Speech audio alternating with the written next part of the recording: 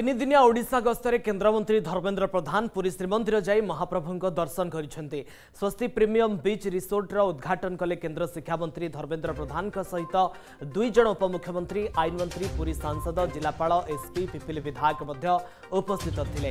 ପରେ ଭୁବନେଶ୍ୱର ଫେରି ତାଳଚେର ଗସ୍ତ କରି ସେଠାରେ ରାତ୍ରି ଯାପନ କରିବେ। ଆସନ୍ତାକାଲି ତାଳଚେରରୁ ଆଠମଲ୍ଲିକର ବନମାଳୀ ଗସ୍ତ କରି ଓଡ଼ିଶା ଆଦର୍ଶ ବିଦ୍ୟାଳୟର ନୂତନ ଗୃହ ଓ ବାଳିକା ହଷ୍ଟେଲକୁ ଉଦ୍ଘାଟନ କରିବେ। ଏହାପରେ ସମ୍ବଲପୁର ଗସ୍ତ କରି କିଶୋରନଗରରେ ବରିଷ୍ଠ ନାଗରିକ ସଂଘ ପକ୍ଷରୁ ନାଗରିକ ସମ୍ବର୍ଦ୍ଧନା କାର୍ଯ୍ୟକ୍ରମରେ ଯୋଗଦେବେ କେନ୍ଦ୍ରମନ୍ତ୍ରୀ।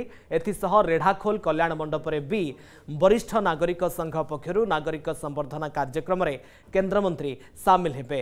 ଆସନ୍ତା ସତେଇଶ ତାରିଖରେ ସମ୍ବଲପୁରରୁ ଲହୁଣୀପଡ଼ା ବାହାରି କେନ୍ଦୁଡିହିରେ ଏକ ସାମାଜିକ କାର୍ଯ୍ୟକ୍ରମରେ ଯୋଗଦେବେ ଧର୍ମେନ୍ଦ୍ର ପ୍ରଧାନ।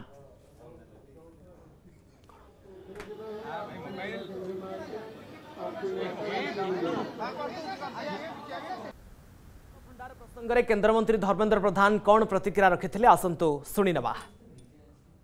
ଯାଞ୍ଚ ହେବ ଗଣତି ମଣତି ହେବ ଏଏସ୍ଆଇର ଟିମ୍କୁ ଆସିବା ପାଇଁ ଓଡ଼ିଶା ସରକାରଙ୍କ ତରଫରୁ ଅନୁରୋଧ କରାଯାଇଥିଲା ଓଡ଼ିଶା ଏଏସ୍ଆଇର ଉଚ୍ଚସ୍ତରୀୟ ଟିମ୍ ଆସିବ ରତ୍ନଭଣ୍ଡାରକୁ ତଦାରଖ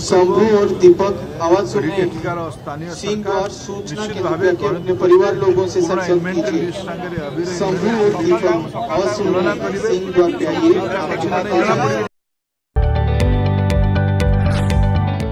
जदि आपण को आम भिडी भल लगा तेब आम चेल्क लाइक सेयार और सब्सक्राइब करने को जमा भी बुलां नहीं।